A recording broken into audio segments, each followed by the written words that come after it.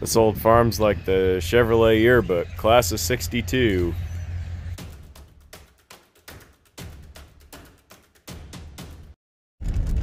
The last video I showed was the muscle cars on the farm. See they sold for really, really strong. The auction where this old car was sold happened to be on the same day. So luckily a friend of mine was able to go inspect it for me and I arranged to call in a bid. And this old thing sold for uh, let's say quite a bit less than the other muscle cars on the auction where I was at in person. Been total cloudburst out here all day, and so I'm just wanting to get in here and get this thing yanked on the trailer and get it home before the sky opens up again. So I'm going to be in hustle mode. So this was the old Nova. Yeah, Chevy 2. Chevy 2. I guess they didn't call it a Nova yet in uh-uh. 62. Yeah. Okay, I've got the I've got the paperwork and title and stuff in, in Okay. the house. I'll- Okay. We get her loaded and stuff. We'll Okay. Yeah, very good. So this was your aunt's car, yeah, and she bought it new, and Yeah. then your kids drove it. drove it some. Yeah. Yeah, back and forth to Kansas State for a while, Yeah. and but it's been set. I see on the tag. I think looked like uh, 87 was the last we tagged it. Okay. Yeah. Did this thing run when it was parked? Yeah, Think so. Yeah. Yeah. Okay. yeah. Well, ought to be a fun one to tinker on then, Well, I'm hoping so. see what she'll do. Yeah, I'm I'm hoping so. Uh, Yeah. I I felt bad that I, I- the time I didn't have a shed to put it in, Yeah. and then and even though I had a shed, didn't have a shed, I should have should have had it up on blocks. Yeah. Yeah. I don't think it hurt it too bad. So. Well, basically, you know, it isn't all beat up. Yep. Little rust, but it isn't isn't beat up. Yep. about the worst as ever went. My daughter clipped off the road and, and clipped the sign. And it took the uh, chrome strip off this side, and I could never find another piece to Oh put on. yeah. But that's that's the worst it, worst it ever. In fact, I think I think the spare tire in it looks like brand new. Wow. Good deal. Yeah, got the rim and everything. Yeah, yeah. Okay, I'll get her get her loaded on. But you you got uh, that tilt. No, I'll just use the winch there. I mean, does the trailer tilt? No, no, it's just a flat deck. So yeah, I brought some other wheels along. Hopefully the brakes aren't locked up, but we'll see. I see.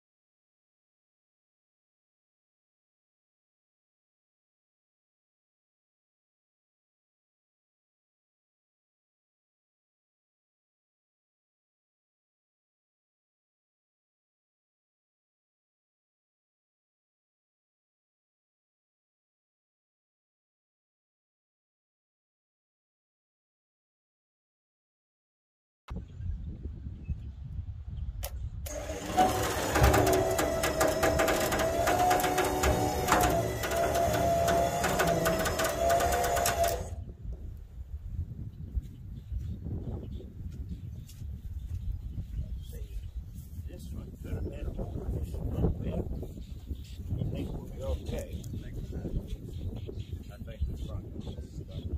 I think the front one's stuck and not turning. Oh, I see. I think it's just dragging.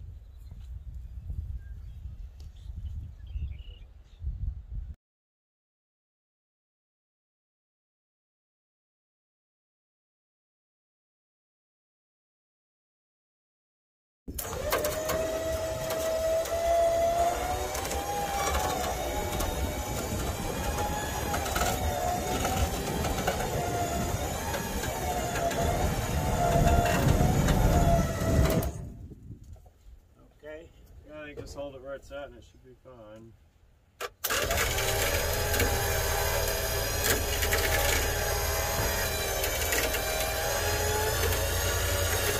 That's you. Up on your spare. Yeah. That was the end of the cable.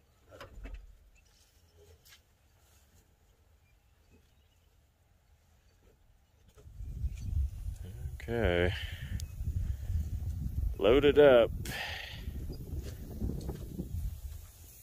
Just enough air to spare.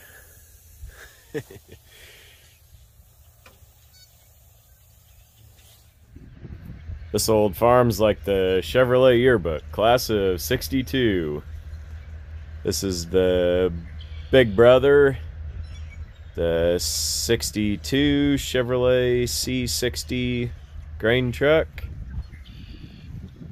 Said this one had a 327 in it that ran, but you can see getting pretty rusty overall. These old farm trucks just don't have tremendous amount of value around here. You can really pick if you want a good one, you can buy a good one for probably 2500 bucks. So this one unfortunately was bought by the scrap man. So kind of a sad demise for it, but price right now is really really strong, so it would have taken a lot to save it. But did save this old 62 Chevy 2 and it'll be on the way home. Quick rock around here is the 1962 Chevy 2. This is a two-door post. Believe in 62 you could also get the two-door hardtop. And this was kind of a more conventional approach that Chevy took to the compact field. In 1960, they had brought out the Corvair, and some people were into them, some people weren't, and Chevy was like, ah, we're just going to cover the whole line, you know, make sure everybody that would want a traditional front engine, live axle, regular rear wheel drive car that they could have one to pick from off the model roster. And so this was it, the Chevy 2. Pretty plain vanilla, literally plain vanilla car. It's kind of weathered down to a good patina here. See, this whole side of the car they did repaint. And old guy had said when his daughters had driven it to high school there that they had gone off the road one time and hit a mailbox and so unfortunately it peeled off all the passenger side trim moldings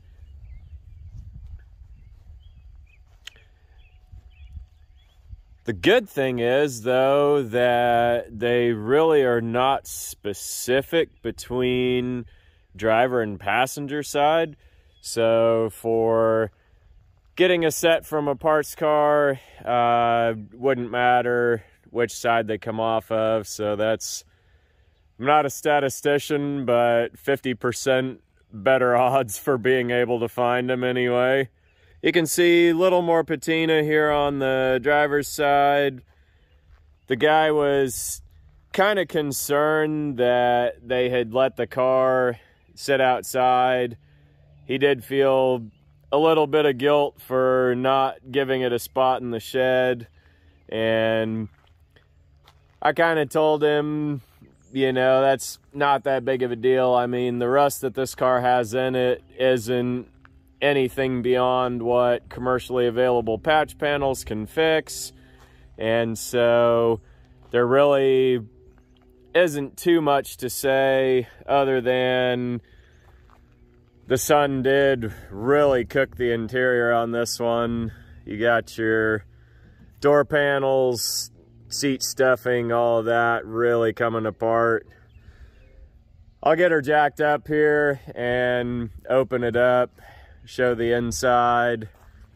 Unfortunately, too, having sat out, it's got pretty good gaps in the weather seal that have come open. So a guy would definitely want to get that out because see that a lot on Texas and Oklahoma cars and stuff out west. The sun just totally cooks them and they really don't rust from the salt, but they will rust over time from sitting just by having the floors fill up with water from the gaps in the weather seal. You may have caught it in the footage of me loading the thing, but this front passenger wheel did have stuck brakes. Was fortunate that the other three were free. So yesterday when I was loading this thing, eh, it was a little dicey with the weather. When I was coming to the farm to load it, it was just literal cloudburst pouring rain. And so I was a little concerned about what was going to be involved to get the thing out and was just fortunate to be between clouds and I really wanted to get this thing drug on here the absolute quickest that I could and get back on pavement and get out of there. So I didn't stick around long enough to free the brakes. So today that'll be the job. And then once I get this thing up a little bit, I'll open up the interior and the trunk. Once it's up on tires, it'll clear the trailer fenders there and then we'll take a look inside of her.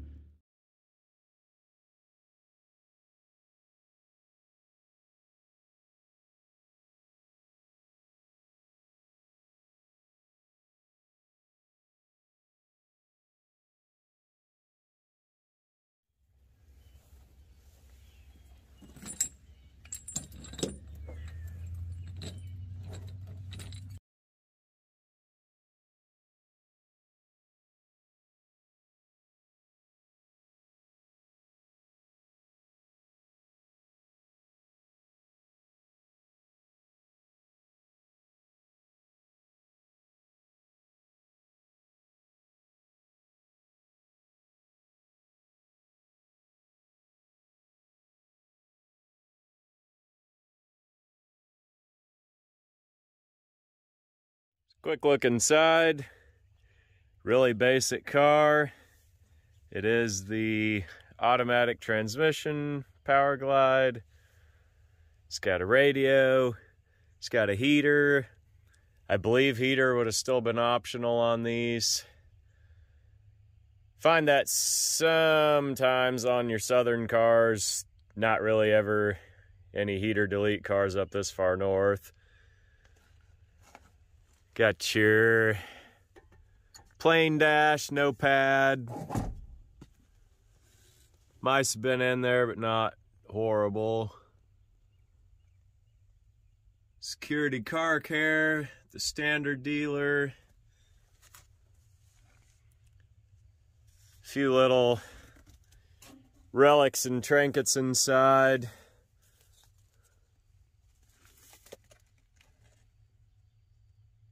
Meter out of order. Please help. Motor out of order. Need to buy a valve.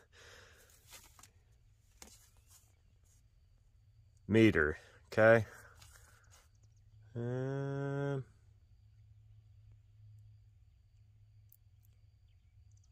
find your accident plan of action there. Got the windshield cloth for when it fogs up. From the rain, of course. Got a ice scraper. Knowles Phillips 66 service, Manhattan, Kansas. 1407 Denison.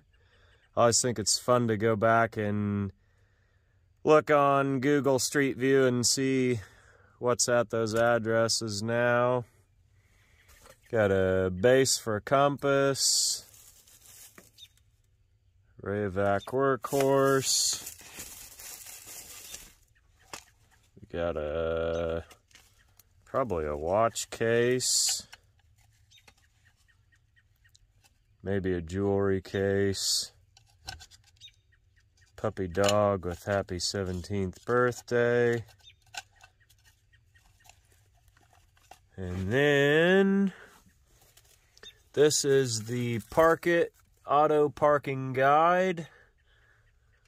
Unfortunately, the mice have kind of chewed up the instructions, but based on the picture there, put that guy up on your dash with a suction cup that's not very viable or pliable anymore and that would tell you the proper angle for turning your wheel or lining up to the next car to parallel park. Kind of a cool piece. Old registration slip.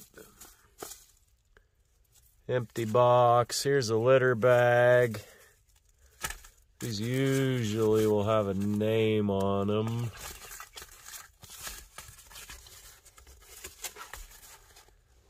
Keep America clean. Don't see any name on that one. That was a common advertising piece of the era. So you can see the mount under the dash where they had the CB radio, the little clip for the mic. Out back there's the antenna on the trunk kind of a relic of the 70s.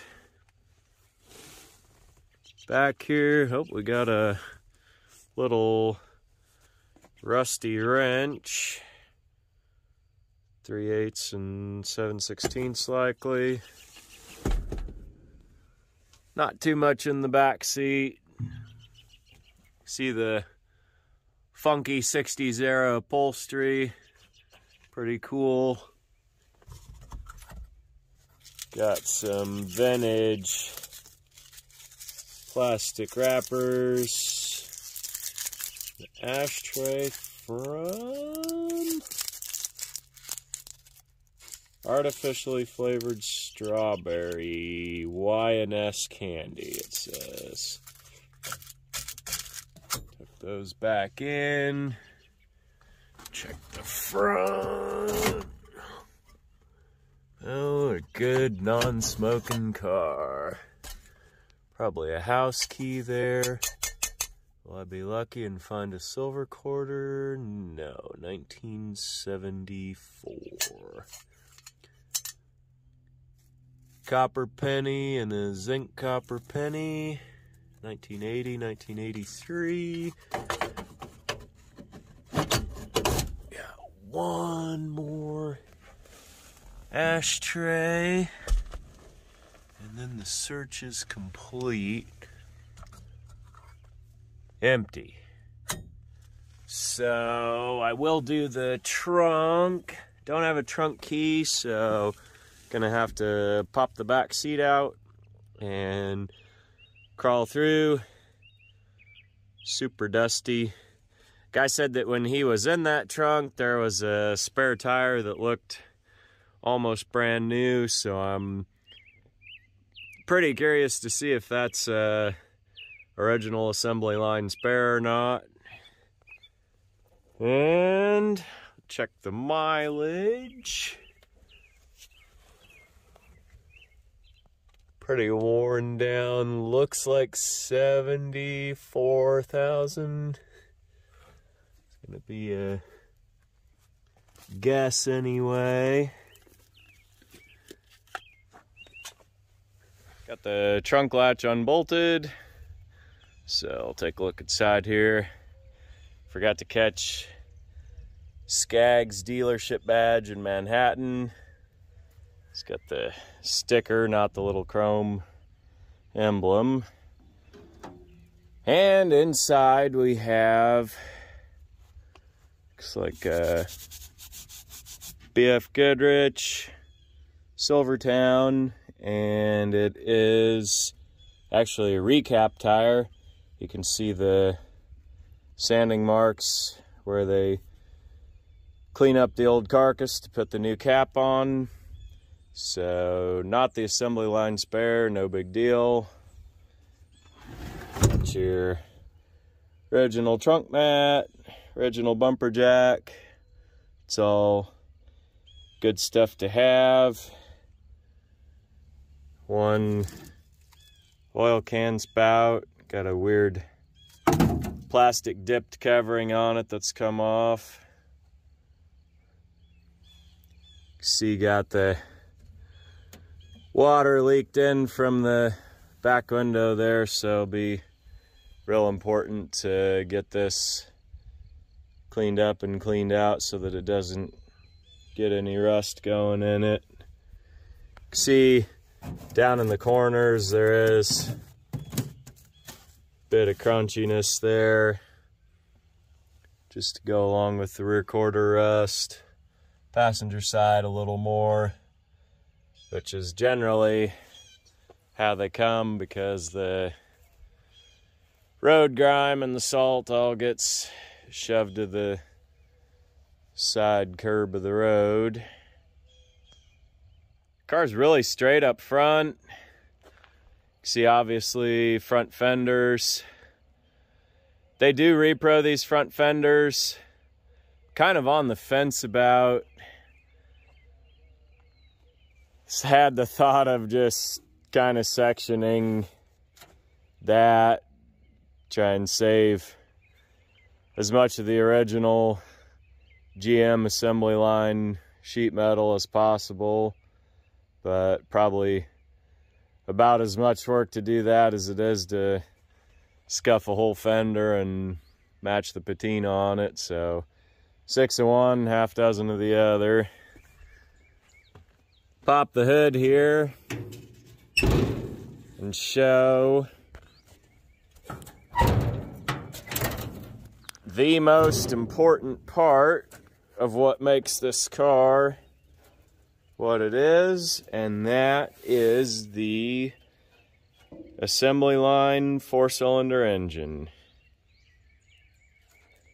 So many of these have just been used up and cashed in for scrap.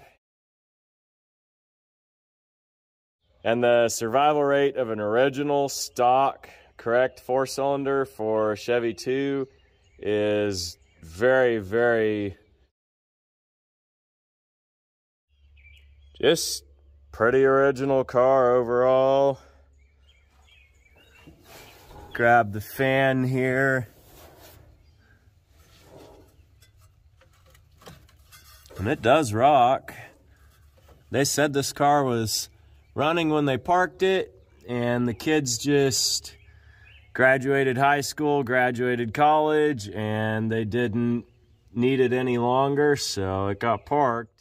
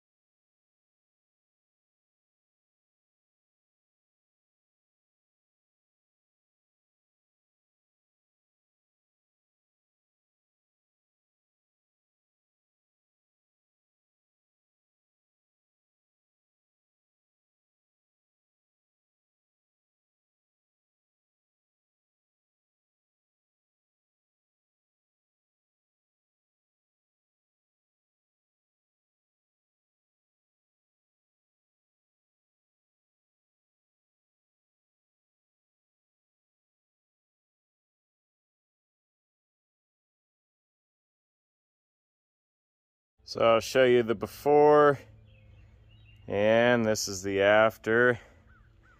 See, Got her straightened out, dialed in there. Looking good bit better than it was. That flat, large center bar, you can still see has a few dings in it that'll need to be tapped out with a hammer, but that's the major straightening completed on it there.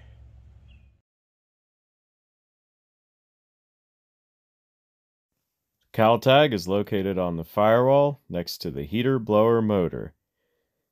First line of the cowl tag is 11D, which is the build date, 11 being the 11th month, November, D being the fourth week. This is a relatively early production car, being built among the first 11,000 to roll off the assembly line per the serial number.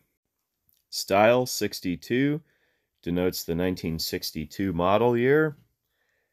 The model number after that has a bit of confusion because the 04 denotes a Chevy 2 300 with an inline 6. Chevy 2 300 with an inline 4 should have had a 03 designation, so there's a bit of confusion for this data tag that I haven't yet been able to clear up. If you have any insight on this, definitely drop a comment below. The 1-1 denotes a two-door sedan body style. KC denotes the Kansas City Assembly Plant. Chevy 2s were built around the world. St. Louis, Norwood, Ohio, Oakland, California, Willow Run, Michigan, Buenos Aires, Argentina, Antwerp, Belgium, and Bienne, Switzerland. Trim 762 is fawn cloth and vinyl bench seats. Paint color 938 is Adobe beige single tone.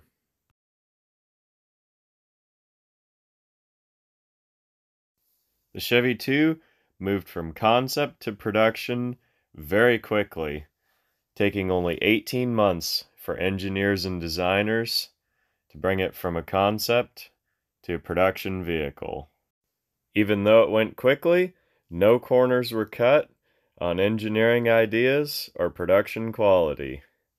The entire front of the car, subframe and inner fenders, could actually unbolt from the rear portion of the body from the firewall back revolutionary design concept and body construction. The heart of the car was Chevy's new four cylinder engine, the first produced by Chevrolet since 1928. The four cylinder was obviously designed for economy. Chevrolet also designed a derivative six cylinder, which was the basic four with two extra cylinders. Backing them up were manual transmissions and an available light duty power glide, which was air cooled. Another really basic feature is the single monoleaf rear springs. The monoleaf rear spring was an amazing design marvel with many desirable characteristics over traditional stacked multi-leaf springs. It gave better ride, weight savings, performance, all at a lower manufacturing cost. This pioneering four cylinder paved the way for many successors after it, including the Vega, Cavalier, and many other Chevrolets still in production today.